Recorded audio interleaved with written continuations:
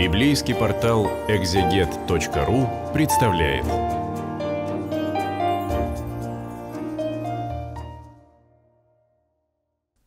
Библейский портал экзегет.ру представляет цикл бесед по Евангелию от Иоанна. Сегодня мы с вами читаем 16 главу.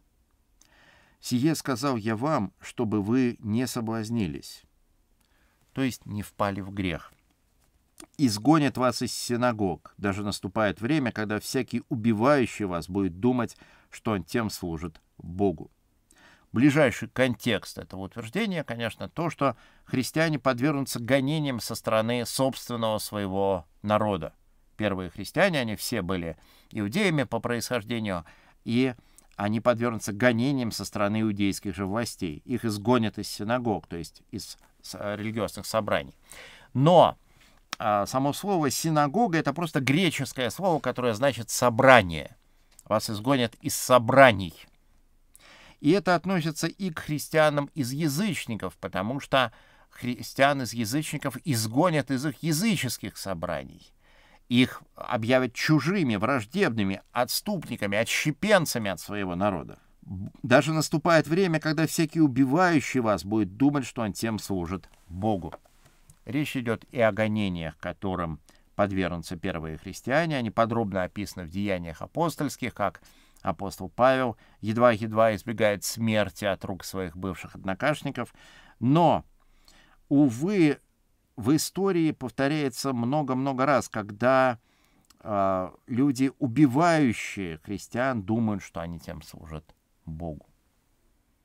И это э, трагическое заблуждение, потому что христиан убивают не только сознательные безбожники, не только сознательные ненавистники Бога, убивают люди, которые думают, что они этим служат Богу. И это предостережение, которое актуально для нас всех, потому что человек, падший человек, он по своей падшей природе агрессивен. И человек склонен приписывать своим падшим каким-то порывам сверхъестественное обоснование. Когда он не просто хочет убивать, а хочет убивать ради Бога.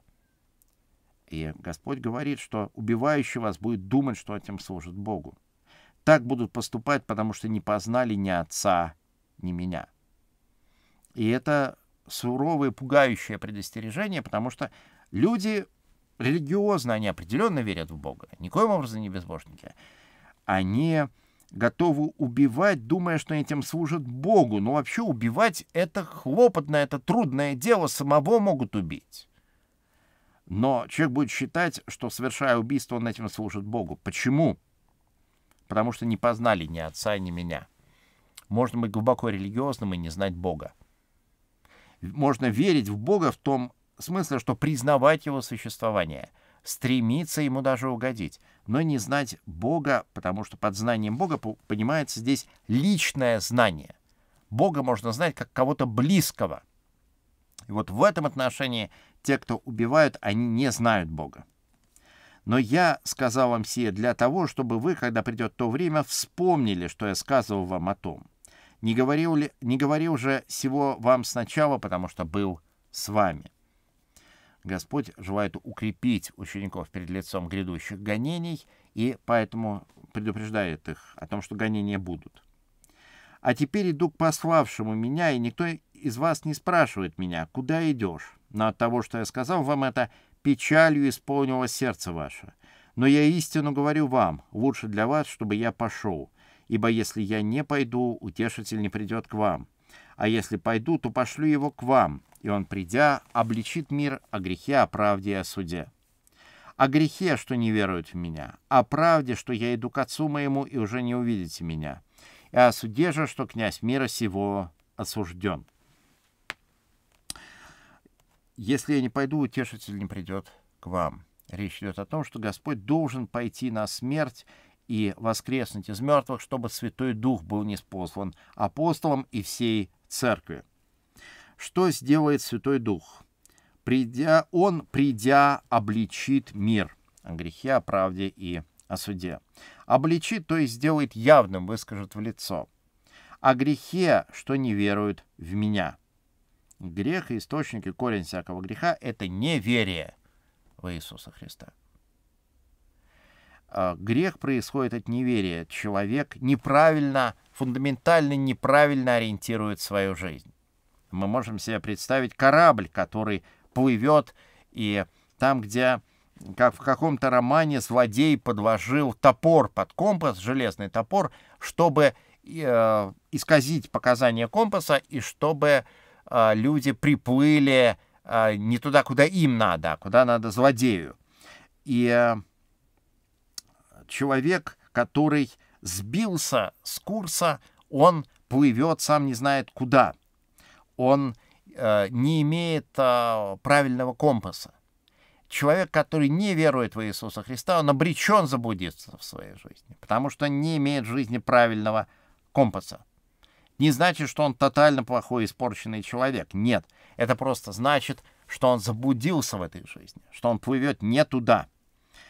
Человек, который верит в Иисуса Христа, он имеет этот компас.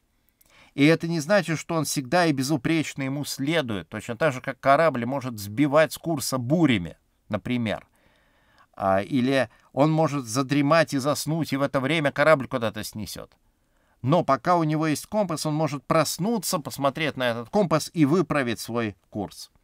Поэтому корень греха, конечно же, не веря в Иисуса Христа о правде, что я иду к Отцу моему и уже не увидите меня. Христос совершает эту правду тем, что Он умирает на кресте, воскресает из мертвых и возносится, к Отцу. О суде же, что князь мира сего осужден.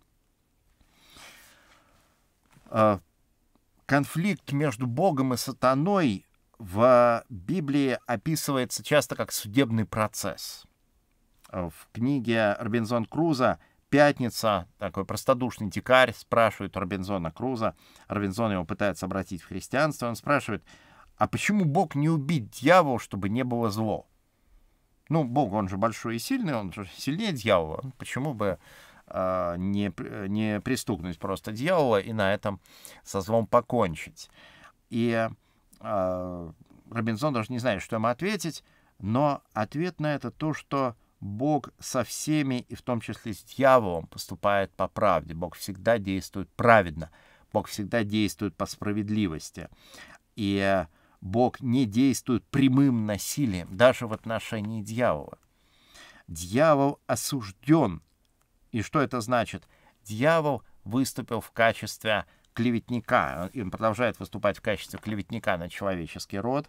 И дьявол — произносит многие тяжкие обвинения на людей, которых он вовлек в грех. Они все должны быть справедливо осуждены пред Богом.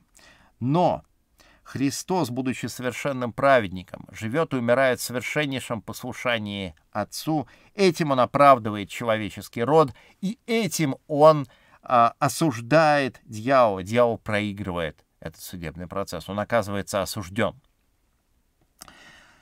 Еще много имею сказать вам, но вы теперь не можете вместить. Когда же придет Он, Дух истины, то наставит вас на всякую истину. Ибо не от себя говорить будет, но будет говорить, что услышит, и будущее возвестит вам. Он прославит меня, потому что от моего возьмет и возвестит вам. Все, что имеет Отец, есть мое, потому я сказал, что от моего возьмет и возвестит вам. Дух истины сойдет на апостолов, и Дух истины пребывает в апостольской церкви. Он наставляет на всякую истину. Он не отходит от церкви. Мы верим в то, что а, в церкви есть священное предание как источник откровения, как источник познания о Боге, потому что мы верим, что Святой Дух от церкви никогда не отходил. То есть Святой Дух не отошел от церкви, когда было завершено, был завершен канон Священного Писания. Святой Дух пребывает в церкви до сих пор и пребудет всегда. Вскоре вы не увидите меня, и опять вскоре увидите меня, ибо я к Отцу иду. Тут некоторые из учеников его сказали один другому. Что это он говорит нам? Вскоре не увидите меня, и опять вскоре увидите меня, и я иду к Отцу. И так они говорили. Что это он говорит вскоре? Не знаем, что говорит. И Иисус, уразумев, что они хотят спросить его, сказал им, «О том ли спрашиваете вы один другого, что я сказал? Вскоре не увидите меня, и опять вскоре увидите меня». Истинно, истинно говорю вам, вы восплачете и возрыдаете, а мир возрадуется. Вы печальны будете, но печаль ваша в радость будет. То есть Господь предвещает здесь свою смерть и воскресение. Женщина, когда рождает, терпит скорбь, потому что пришел час ее. Но когда родит младенца, уже не помнит скорби от радости, потому что родился человек в мир. Этот образ родовых мук, он постоянно появляется в Священном Писании, и он, в общем-то, понятен. А, рожать очень трудно, женщина претерпевает тяжелую скорбь, но когда она родила ребенка, она не помнит скорби от радости. Совершилось такое великое дело, родился новый человек, и мать, и отец, и все окружающие полны радости. И она, хотя и было очень тяжело претерпевать роды, претерпевать скорбь, теперь она уже не помнит этой скорби от радости, потому что родился человек в мир. Так и вы теперь имеете печаль. Но я увижу вас опять, и возрадуется сердце ваше, и радости вашей никто не отнимет у вас. Господь вновь говорит о той радости, которую никто не может отнять у христиан. В тот день вы не спросите меня ни о чем. Истинно, истинно говорю вам, о чем вы попросите Отца во имя Мое, даст вам. До ныне вы ничего не просили во имя Мое, просите и получите, чтобы радость ваша была совершенна. Просить во имя Иисуса Христа — это значит просить, продолжая Его миссию, продолжая Его служение, то есть желая угодить Богу. Доселе я говорю вам притчами, но наступает время, когда уже не буду говорить вам притчами, но прямо возвещу вам Отце. В тот день будете просить во имя Мое, и не говорю вам, что я буду просить Отца о вас ибо сам Отец любит вас, потому что вы возлюбили меня и уверовали, что я шел от Бога. Я шел от Отца и пришел в мир, и опять оставляю мир и иду к Отцу». Ученики его сказали ему, «Вот теперь ты прямо говоришь и притчи не говоришь никакой. Теперь мы видим, что ты знаешь все и не имеешь нужды, чтобы кто спрашивал тебя. Посему веруем, что ты от Бога исшел». Иисус отвечал им, Теперь веруете, вот наступает час, и настал уже, что вы рассеетесь каждый в свою сторону и меня оставите одного. Но я не один, потому что Отец со мною. Ученики восторженно исповедуют свою веру в Иисуса как в Сына Божия, а Господь их как-то обескураживает. Он говорит, наступает час, уже настал. Вы рассеетесь каждый в свою сторону, меня оставите одного. Но далее он говорит, «Сие сказал я вам, чтобы вы имели во мне мир». То есть Господь знает, что они отпадут, но тем не менее возвещает им мир. «В мире будете иметь скорбь, но мужайтесь, я победил мир». Господь не говорит, что христиане будут освобождены от скорби, ничуть. А в мире мы будем иметь скорбь, но он говорит, мужайтесь, я победил мир.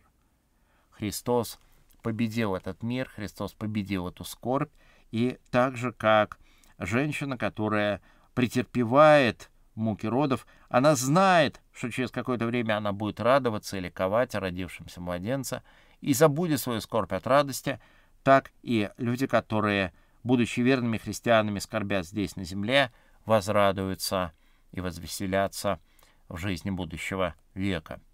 Мы с вами прочитали 16 главу Евангелия от Иоанна. Мы читаем Писание в рамках библейского портала «Экзегет.ру».